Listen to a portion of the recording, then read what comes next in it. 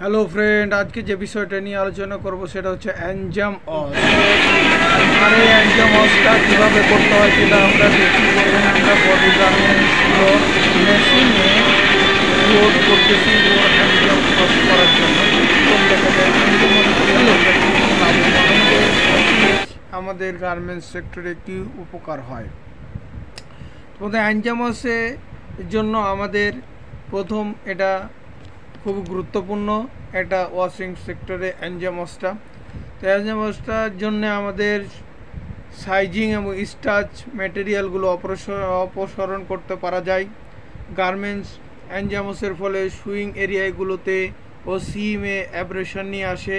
অ্যানজামের ফলে কাপড়গুলো নরম হয় বলে পরিধান করার জন্য নরম অনুভূত হয়।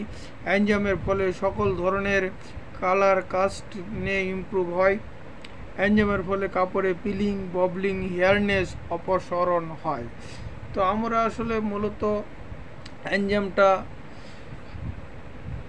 খুবই একটা গুরুত্বপূর্ণ বিষয় গার্মেন্টসে। অ্যানজামের লুকিংটাই হচ্ছে একটি গার্মেন্টসের সুন্দর একটা লুকিং হয়। তো চলুন দেখা যায় আমরা কি কি কেমিক্যাল ব্যবহার করি অ্যানজামে আমরা সাধারণত অ্যানজামে ব্যবহার করি neutral enzyme বায়োপ্যালেস enzyme, stone free enzyme, acid enzyme. নিচে যে কেমিক্যালগুলো দেখছেন লুব্রিকেট অ্যান্টিগ্রিজ এজেন্ট এবং অ্যান্টিব্যাক স্টেনিং এজেন্ট এই দুইটা অ্যানজামে সাপোর্টিং দেওয়ার জন্য যাতে করে অ্যানাদার কোনো প্রবলেম অ্যারাইজ না হয় অ্যানজাম পাতে। তো আমরা অ্যাসিড অ্যানজামটা মূলত অ্যাসিড ফর্মে নিয়ে এসে ব্যবহার করতে হয়। স্টোন ফ্রি অ্যানজামটা অনেক সময় দেখা যায় স্টোনের বডি অ্যানজাম করলে স্টোনের জন্য বডি অনেক ড্যামেজ হয়, এই কারণে স্টোন ফ্রি অ্যানজাম আমরা ব্যবহার করি। বায়োপলিস অ্যানজাম অনেকটা পিলিং, হেয়ারনেস ভালোভাবে রিমুভ করার জন্য আমরা বায়োপলিস অ্যানজামটা মূলত ব্যবহার করা হয়। আসলে অ্যানজামন একটি ইম্পর্টেন্ট বিষয় ওয়াশিংয়ের জন্য এবং গার্মেন্টসের সুন্দর একটা লুকিং নিয়ে আসে। চলুন দেখা যায় অ্যানজামে আমাদের কি কি উপকার হয়? অ্যানজামে প্রথমত আমরা বলব যে, সাইজিং এবং স্টাচ মেটেরিয়ালগুলো অপসারণ করতে হয়, সুইংগুলোতে অ্যাব্রেশন নিয়ে আসে, ফলে কাপড়গুলো নরম হয় এবং পরিধানের সময় অনুভব হয় ভালো। সকল ধরনের কালার ফাস্টনেস ইমপ্রুভ করা হয় এবং পিলিং ববলিং হেয়ারনেস অপসারণ করা হয় এবং গার্মেন্টসটার ক্লিনিং সুন্দর লুকিং করা হয়।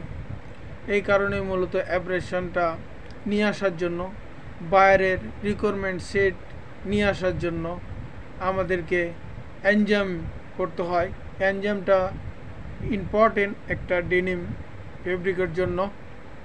এবং অ্যানজাম অ্যাব্রেশন লুকিংটা বডিকে অনেক সুন্দর লুকিংয়ের ফর্মে নিয়ে আসে, যা বডি দেখতে অনেক ক্লিনিক লুক আসে।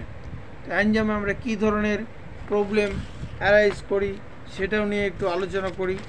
অ্যানজামে আমাদের প্রবলেম হয়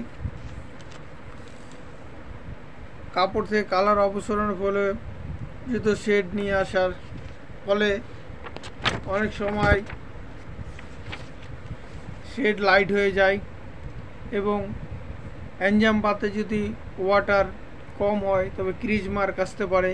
অ্যানজাম টাইম যদি মোর হয় এই জন্য সিমে ড্যামেজ চলে আসে, বডিতে ড্যামেজ হয়ে যায় এবং অ্যানজাম পার্সেন্টেজ মোর হলে এবং টাইম বেশি হলে ইন্ডিগো চলে যায় বডির বেশি এবং অ্যাব্রেশন মোর হয়ে যায়, লাইট হয়ে যায় বডি এবং অ্যানজাম পার্সেন্টেজ যদি লেস হয়, তাহলে অ্যানজাম টাইমটা বেশি লাগবে, যার কারণে গার্মেন্টস ড্যামেজ হবে, লাইট হবে।